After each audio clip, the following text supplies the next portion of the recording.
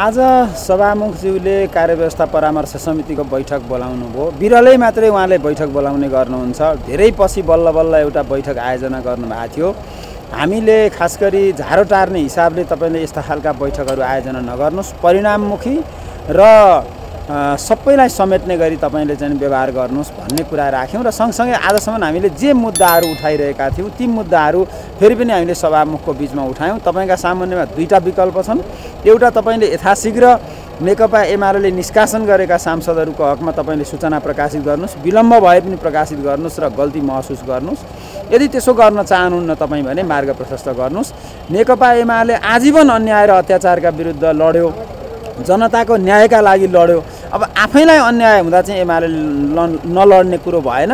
एमालेलाई भएको अत्याचारका विरुद्ध हामी लडिरहेका छौँ। यो हाम्रो निरन्तर जारी रहन्छ। जबसम्म तपाईँले यो दुईवटा विकल्पमध्ये एउटा सच्याउनुहुन्न तबसम्म हामी जारी नै राख्छौँ भनेर भन्यौँ हामीले।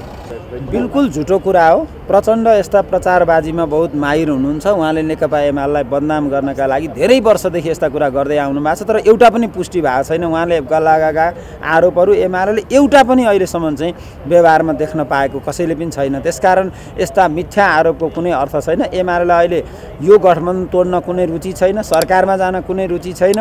नेकपा एमालेलाई अहिले कुनै तपाईँको चाहिँ अर्को गठबन्धन बनाएर सरकारमा जाउँ भन्ने छैन। हामी बिल्कुल यो सरकार चाहिँ पुनः अवधि चलोस् यो गठबन्धन जारी राखोस् भन्ने पक्षमा छौँ र स्पष्ट गर्न चाहन्छु म नेकपा एमालेको तर्फबाट कि यथास्थितिमा एमसिसी पास गर्ने पक्षमा नेकपा एमाले छैन। कुनै शर्तमा पनि हामी एमसिसी यथास्थितिमा पास गर्ने पक्षमा छैनौँ। I'm not going to do that.